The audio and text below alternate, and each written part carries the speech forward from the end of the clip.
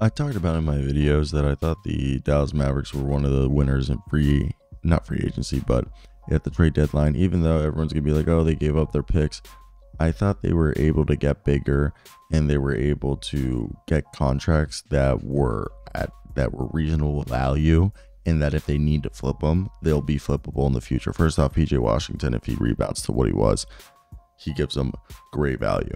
Daniel Gafford, we knew that every time Dereck Lively sat, the Mavericks were getting outsized. They get a guy who's very similar in players, an athletic rim running, screen setting, shot blocking, big. Basically, you can play now Lively 24 minutes, Gafford 24 minutes.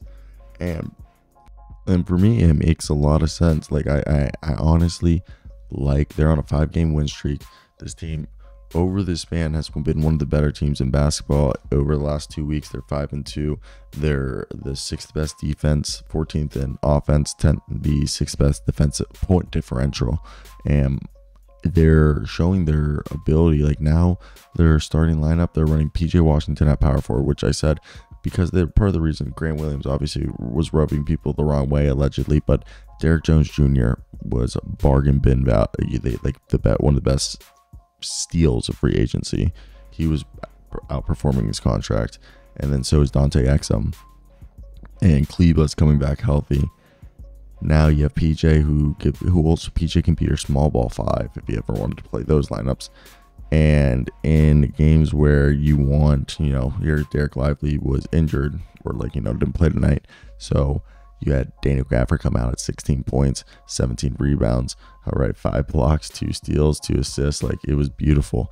And then PJ Washington had nine points, five rebounds. And obviously his three point shot wasn't falling, but he was finding other ways to make plays, having three assists. So PJ Washington was figuring it out. Kyrie and Luka both had 26, 13 from Josh Green.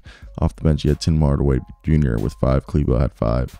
And Derrick Jones had two, and Jaden Hardy had 10. And I know it was against the Wizards, but my Wizards, but you know, Luka Doncic had a triple double. And I just think, you know, yeah, they outscored the, the Wizards 34 to 16 in the fourth quarter, and they shot 52.2% in that period.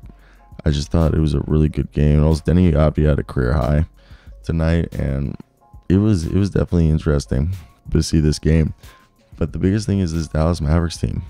We're starting to see it take shape, and I'm liking it so far. PJ Washington, two games, 11 and a half points, five rebounds, two assists, averages like 11 and a half points, five five rebounds, two assists, shooting 47.6% from the field.